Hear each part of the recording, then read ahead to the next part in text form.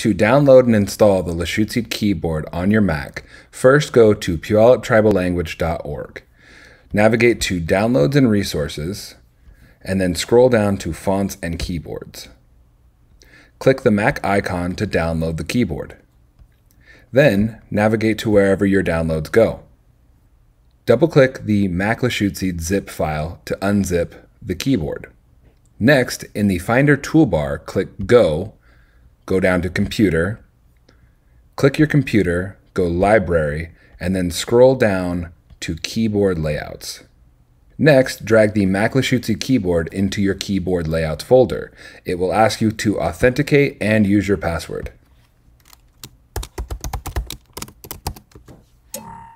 Once the Mac Lushootseed keyboard is in your Keyboard Layouts folder, go to System Preferences under the Apple in your Finder toolbar. Go to Keyboards, Input Sources, and in the left-hand column, click the plus button. Scroll all the way down to Others. Then, from here, add the Lushootseed keyboard. Our preference is the tilde. Click Add. Lastly, make sure the Show Input menu in Menu Bar is checked.